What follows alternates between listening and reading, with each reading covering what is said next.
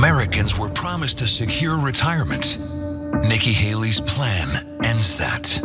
Social Security, Medicare, how would you manage the entitlements? We say the rules have changed. We changed retirement age to reflect life expectancy. What we do know is 65 is way too low, and we need to increase that. Increase that. Haley's plan cuts Social Security benefits for 82% of Americans.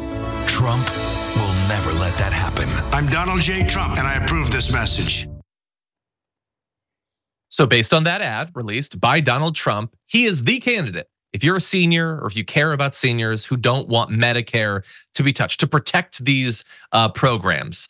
Now, there's a report out this week that implies that that is not how it's going to work if he gets back into office. And we'll get to that in just a moment. But first, you should know that Donald Trump has, for a very long time, pitched himself as the guy to protect these programs. Here is an ad of him, or this is a speech of him back in 2020, uh, pitching himself as an advocate for senior citizens in the same way. We're going to be talking to our great senior citizens. That's what I'm here for today. We love our senior citizens, and I'm honored to be here in Fort Myers to reaffirm my solemn pledge to America's seniors. It's so important to me. I happen to be a senior. I will protect you, I will defend you, and I will fight for you with every ounce of energy and conviction that I have. You devoted your life to this country, and I am devoting my life to you. My administration is working every day to give our amazing senior citizens the care, support, and respect that you deserve, and you understand that. We've worked together for a long time. He was taking some weirdly long, weird pauses there. Like if you're stressing, I'm gonna fight with all of my energy. I'm a protector for you. I don't know if I would take that to the bank. I certainly would not bet my life on him as a protector of these programs because what do you know? Reports are already coming out that those in his sort of policy circle, quote unquote, are working on a plan that would effectively fully privatize Medicare. We'll return to what the hell they're going to do to Social Security at some point. But for now, their plan is to make Medicare Advantage the default enrollment option for people who are newly eligible for Medicare rather than like an alternate route you can take. That's what effectively the program is going to become. So, You'll be shocked that while it's very dubious as to whether that will provide any benefits to any senior citizens, it is a boon for private health insurers, which generate absolutely massive profits and growing portions of the revenue from Medicare Advantage plans. And it would further consolidate corporate control of the United States healthcare system. Now, here's the difference between traditional Medicare and the Advantage. Under traditional, enrollees are free to visit any doctor who accepts Medicare. Medicare Advantage plans, by contrast, often have limited networks of doctors that patients can choose from, and many providers have stopped accepting the private plans because they so often deny the prior authorization requests they require before patients can receive services. So, under this new plan, the default is going to be corporate control effectively over corporatized plans being marketed as Medicare that are going to deny uh, access, deny services, and deny your ability to go to many doctors. Almost exactly the things that they pretended to have a problem with Obamacare in. Remember them stressing like they're not going to let you see your doctor.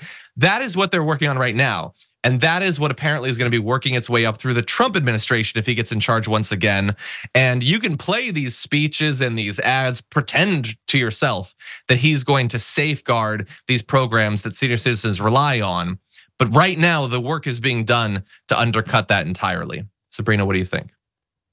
Yeah, it's an absolutely terrible idea. People who have Medicare, they really like their Medicare. They like their doctors is what, you know, they like the most about it. And so if we switch to a more private approach, we're just going to see, you know, costs start to skyrocket, which when it comes to seniors who have limited income, um, it's actually going to be very terrible for them obviously. So I don't know who he's trying to appeal to when he's running these ads. Probably, again, the people in his inner circle who will benefit and profit from uh, privatizing uh, Medicare, but it certainly will not be helping the mm-hmm. seniors.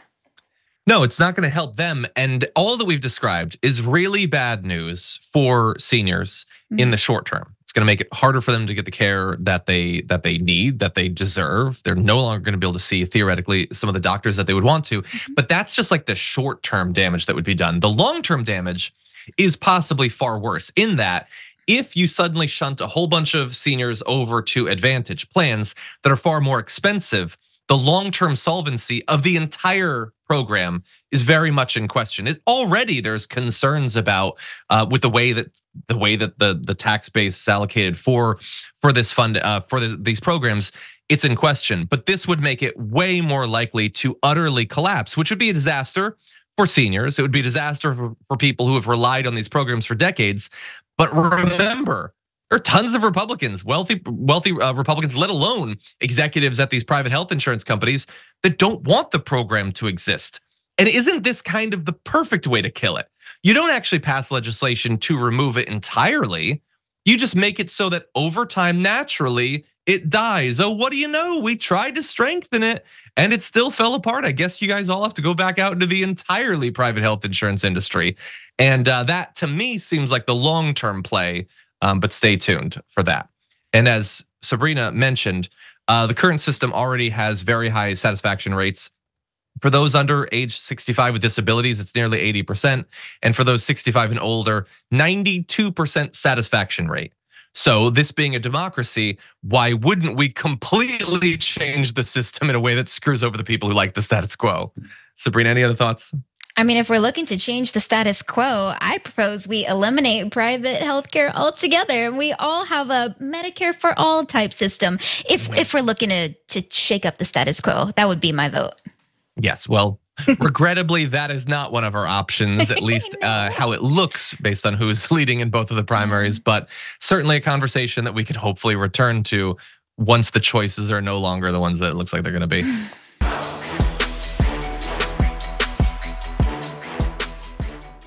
Check out the Damage Report podcast each day, wherever you get your podcasts, whether Pocket Casts or Stitcher or iTunes.